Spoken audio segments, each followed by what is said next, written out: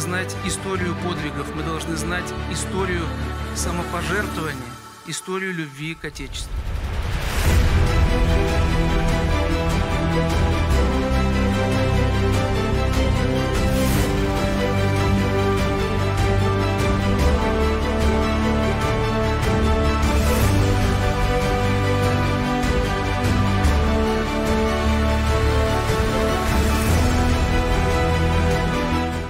Радуйтесь и благодарите тех, кто подарил нам эту радость.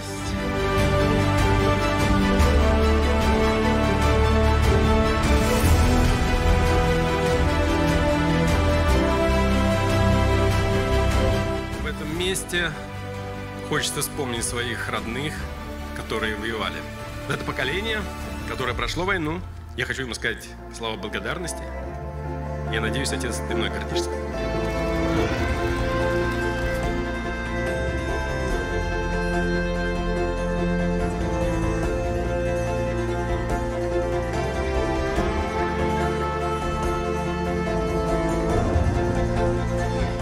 Считаю, что историческую память действительно важно сохранять, поскольку она помогает нам понять и осознать наше прошлое.